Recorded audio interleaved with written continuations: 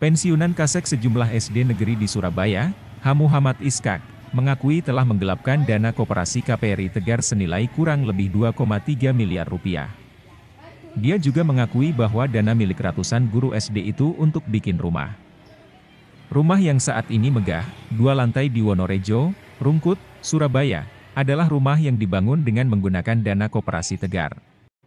Rabu siang tadi, rumah ukuran besar itu didatangi ramai-ramai setidaknya 75 guru SD. Mereka datang dengan didukung langsung Wakil Wali Kota Surabaya Armuji. Mereka menagih dana koperasi milik para guru itu. Iskat yang sebelumnya dicari-cari para guru tak pernah mau keluar rumah. Rabu siang tadi keluar menemui para guru.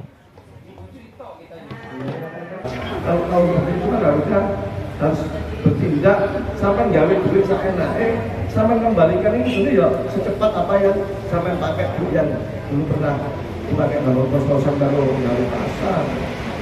Gitu. Sampai hasil rokok ya. Ke mana?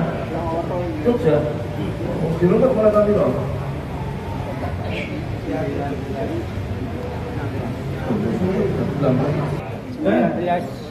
Eh? Eh? Oh, 1916 dulu kemerdekaan nih. Ya, 1916.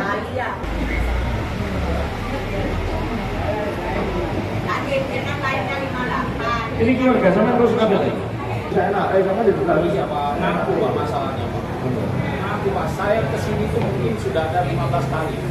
Setiap kali ngomong, kami pernah panggil ikut rapat luar biasa. Ngaku Pak di depan itu, di depan anggota ngaku Pak. Jadi ya Iya.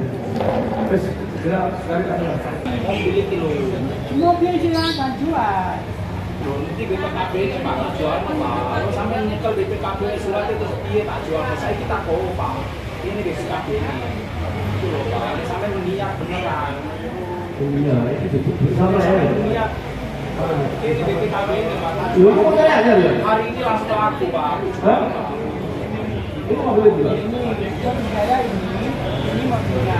Yang dipakai toko-toko ini kan sudah lah. Ini dua Pak. Itu kan ini ceritanya tanah ini sudah dibagi-bagi ke anak-anaknya. Terus anaknya dijual sendiri sendiri. Ya uangnya ya dipakai sendiri sendiri. Udah ngomong wong Pak. Bukan orang lain. Maksudnya sing bagian sampean di Ya bagian saya itu pasar itu sama kos-kosan depan kelurahan persis itu. Itu. itu pasar ya. Jangan dipaksa di bawah. Mulai lagi.